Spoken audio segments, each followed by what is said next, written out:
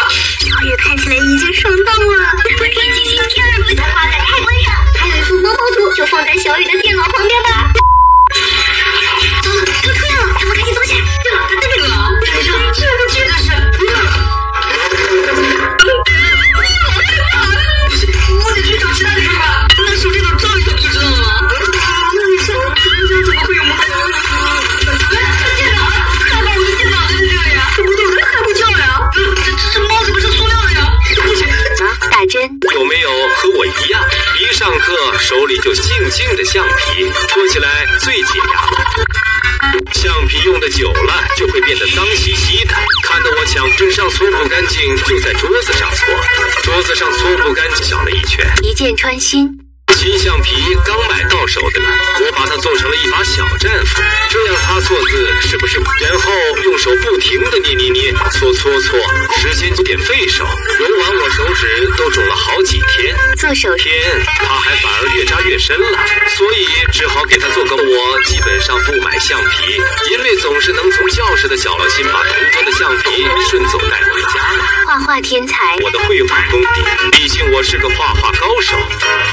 用的橡皮做菜，把一块橡皮切成四块，剥瓷，最后做成橡皮肉末，加点橡皮屑。爱我，我都没办法好好学习了。我的天！我打开，里面还有一个钻石萝卜。据说到了晚上，抽到黄金胡萝卜呀，黄金胡萝卜打开，竟然还有钻石萝卜啊！要不然咱们买点回来试试呗。